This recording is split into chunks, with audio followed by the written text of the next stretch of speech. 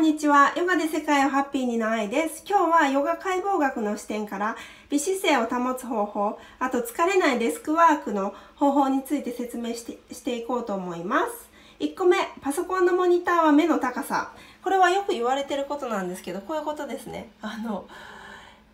目の高さにすると座骨も立つし、背骨もニュートラルになる、まっすぐ立つので、呼吸がしやすいです。でうつむいちゃうのは何でダメかっていうと猫背気味になると肺が潰れて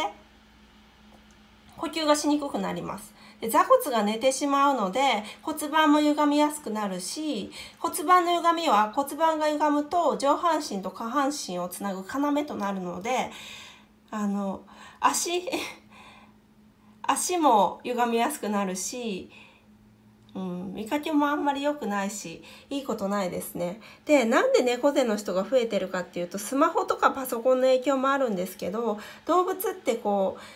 う怯えると丸くなりますよね猫とかでもハムスターとかでもこう丸まって自分の身を身を守ろうとするので人間も同じで社会的圧力とか上司からプレッシャーを感じてるとやっぱりこう丸まりがちになるんですね。だからそれを防ぐために自分で意識的に胸を張ってこういう風に胸を軽く張って反り腰にならない程度に胸を張って置くことが大事です。結構ね男性で胸を張りすぎるとめっちゃ反り腰になっちゃう人いると思うんですけど反り腰もダメです。この自然な S 字カーブ緩やかな S 字カーブを描くぐらいに軽く胸は張って肩の力を抜く。というのがポイントです。よくねヨガの先生肩の力抜いてって言ってるんですけど結構一生懸命姿勢よくしようとすると反り腰になって肩に力が入ってしまうんですね。だから軽く胸は張ってみぞおちは天井方向に引き上げて後頭部も天井方向に引き上げると自然な S 字カーブになるし背筋も上に伸びます。でその状態で座ります。うん。でもし疲れてない日はなるべくこのように立って作業してください。やっぱりね立ってる方が上に引き上げやすいしあの座ってる時間が長いとあのセダンタリーライフっていうんですけど英語では。座ってる時間が長いとタバコを1日1箱吸うぐらい健康に悪いって一時期言われてるぐらい長く座りすぎることはすごい血液循環も気の流れも悪くするのでできればなるべく立って作業してください。で3番目。出社したらまず納得するまで椅子の高さを調整。あのー、結構ね集中力ある人ってどんな姿勢でも何時間でも仕事できるんですね。とかネットフリックスとか面白いものを見てる時って人間結構見終わって腰痛みたいになる人いますよね。あれは集中する前に椅子の高さを調整すべきです、うん、だから出社したらまず納得するまで椅子の高さを調整して目線にパソコンが来るように注意してください。で4番目は本や資料を読む時これも一緒でスマホもなんですけど顔を正面に向けてなるべくうつむかないことが大事です。スマホほ首の人が増えてるストレートネックが増えてるって言うんですけどそれはこうずっとうつむいてるからもう首の骨がなんかどんどんあのカーブがなくなってまっすぐになっちゃう現象なんですけどあのそうするとこの首背骨もそうなんですけど重要な神経がいっぱい通ってるし首の後ろも脊髄神経が集中する場所なのでそこが圧迫されて良くないです。なのでなるべく顔を正面に向けます。で目で見ようとするから疲れる。5番目。うん。目でねあの必死に資料を目に近づけてみようとすると目が疲れてきて目の筋肉目の筋肉ってここの筋肉とつながってるので目が疲れると首も凝るんですね。なので目で見ようとしないで頭の後ろに目があるイメージでスクリーンを見ましょう。ここですね。これが目だとしたらこの後ろに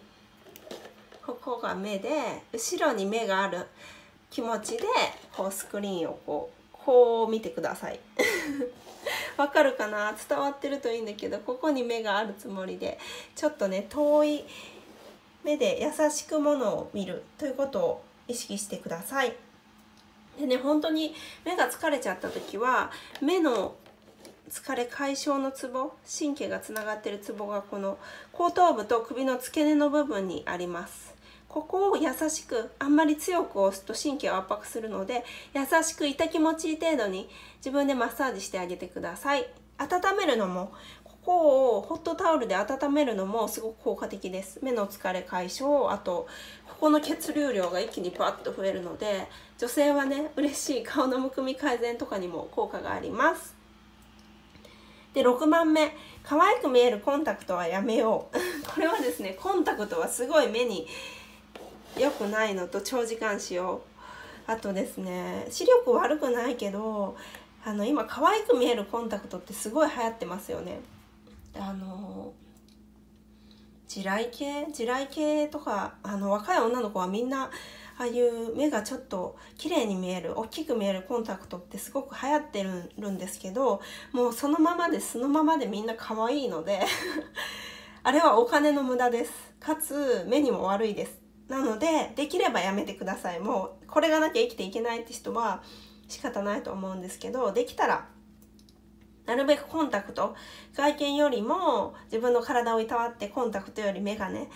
にしてください。で7番目デスクワーク中1時間に1回はストレッチ深呼吸ゆっくり吐く息に意識。これはヨガでは深い呼吸はすごく大事なのは深い呼吸でどんどん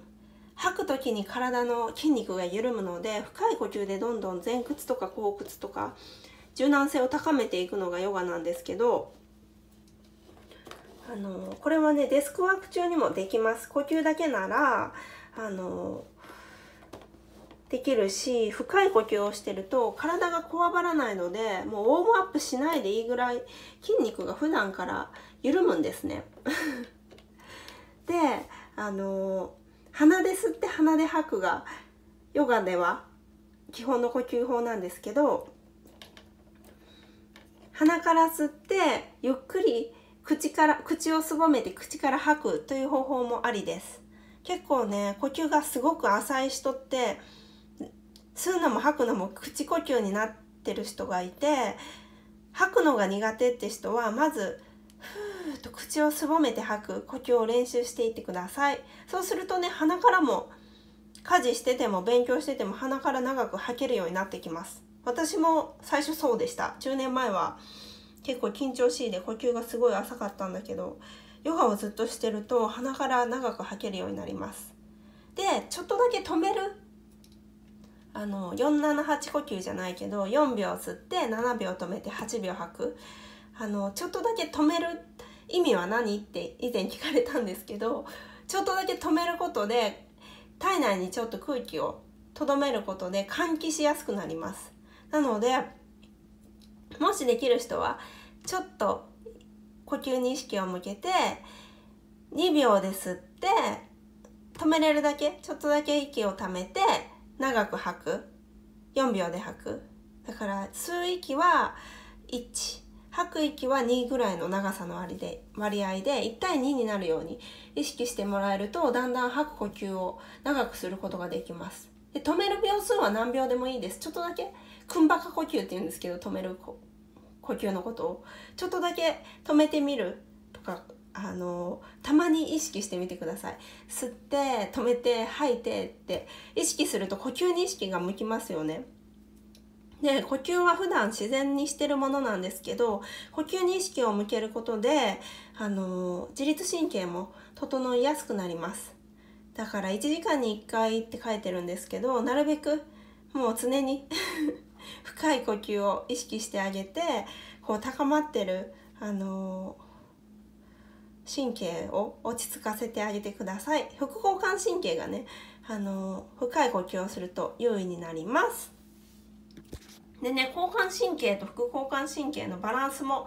だんだん整ってきます。だから深呼吸ってすごくどちらの神経にもいいです。で結構ヨガでは副交感神経が注目されがちなんですけど交感神経っていうのもやっぱりこうファイ緊張する神経頑張る神経なので必要なんですね。で交感神経も正常に働いてないと食欲がコントロールできなくなると言われてます。なので結構有名な論文では交感神経がきちんと働かなくなった人が太りやすくなると言われています。で交感神経も整えるコツはやっぱり呼吸を整えることです。なので食欲が乱れてる人あのストレス溜まると過食してしまう人そういう人も呼吸を意識してあの仕事中呼吸に意識を向けてあげてください。で8番目は余談なんですけどトイレ休憩の時も洗面所を背筋を伸ばして使う。ちょっとしたことなんですけどこうオフィスで歩き回る時に後頭部を引き上げて頭の上にリンゴが乗ってるつもりで歩いてトイレに行って背筋を伸ばして手を洗ってください。今日は以上です。Thank you for watching.